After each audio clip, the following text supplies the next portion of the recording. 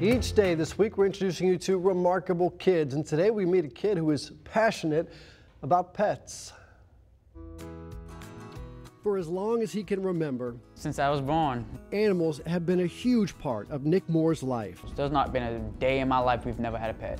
For the past year and a half, he's volunteered at the Little Rock Animal Village. You have kittens who's been abandoned, dogs who's been abused, or even just got lost and they probably never seen love in their life. What is the experience when you come to the Little Rock Animal Village? What is it that draws you here? It's just a friendly atmosphere, knowing you're helping something out, knowing you're contributing in a way. And he has been contributing despite what others may have expected. When we first started here, they did not think we were going to do much, especially me. The expectations were low, he says, because Nick Moore is a recent graduate of the Arkansas School for the Blind. It's like looking into a, fog, a foggy glass. That's the best I can explain it. He says doctors don't know exactly what caused his vision problems, I was born with it. This is all I've, all I've ever seen. So to me, it's normal.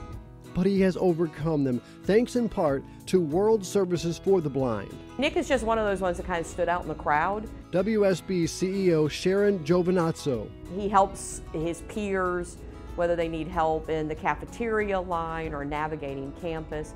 He's just always willing to help somebody. Nick went from just cleaning the facility I'm like, nah, I, w- I want more of a hands-on experience. to working with the animals four days a week because, as we found out, you know a lot about animals. Oh yes, yes I do. That's why dogs and cats don't get along so well. Dogs tell wags it's happy, cats tell wag it's mad. While Nick still cleans up, he also checks on the animals Making sure they're healthy, brushing them, and sitting there relaxing with them.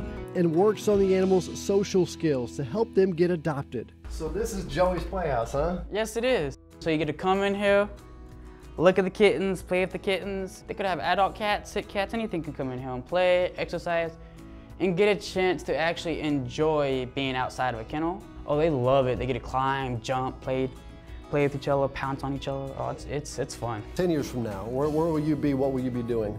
10 years from now, I see myself getting a bachelor's or at least master's degree in zoology and biology. I plan to start a exotic um, zoo for where I can have endangered species and so like explain to kids, younger generation, on why these animals are important. He may be that next zoologist that changes the world. It brings a smile to your face. Knowing someone wants to offer them a home, it's a happy feeling. Nick is heading off to college next month, and if you'd like to check out any of the animals we just showed you, the Little Rock Animal Village is open for adoptions Tuesday through Saturday. Kennels open from 10 a.m. to 5 p.m. And tomorrow we introduce you to a remarkable kid who is winning both on and off the basketball court in Pine Bluff.